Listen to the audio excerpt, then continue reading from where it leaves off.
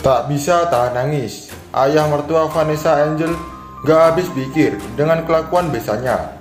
Saya gak suka. Yuk simak videonya sampai habis. Tapi sebelumnya, dukung channel ini dengan klik tombol subscribe dulu ya. Setelah kepergian mendiang Vanessa Angel dan Bibi Ardiansa, saat ini terdapat polemik baru di antara pihak keluarga keduanya. Ayah Vanessa, Dodi Sudrajat, tetap membantah misalnya yang berencana menjual barang-barang warisan anaknya. Saya keberatan kalau barang-barang itu dijual dan dilelang. Enggak, saya enggak mau. Ujar Dodi tegas ditemui usai ziarah ke makam sang putri. Senin 22 November. Merespon hal ini, ayah Bibi Ardiansa, Faisal bertutur. Ia tak menentang apa yang diucapkan. Biasanya tersebut, tetapi semua ini dilakukan cuma hanya untuk kebutuhan Gala, anak semata wayang Vanessa dan Bibi. Kalau begitu pendapat dia, saya nggak bisa jawab ya, karena saya dari awal apa pun menurut saya.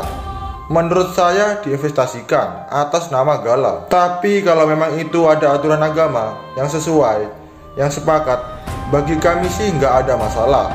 Tapi jangan sampai merugikan Gala, beber Faisal. Kata Faisal, seluruh barang-barang Vanessa dan Bibi sebenarnya lebih baik dijual dan hasilnya ditaruh ke tabungan atas nama Gala.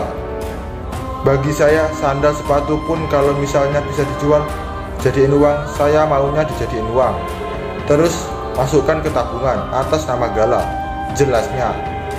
Karena anak ini memakan waktu tidak sebentar. Selagi hidup, anak ini saya masih akan berurusan sama yang namanya Mas Dodi. Sambungnya.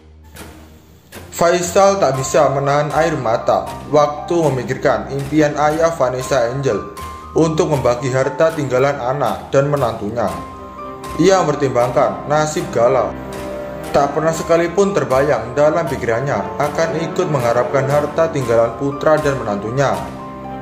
Malahan, yang punya saya pun akan saya kasih buat Gala. Jadi jangan untuk dibagi. Dan berapa sih yang mau dibagi? Berapa sih nilainya sebenarnya mau dibagi ini? Kalau dicari benar-benar nggak seberapa, tapi kok hebohnya minta ampun. Jadi saya gak suka itu sebenarnya. Ucap Faisal terisak. Terima kasih telah nyimak video sampai habis.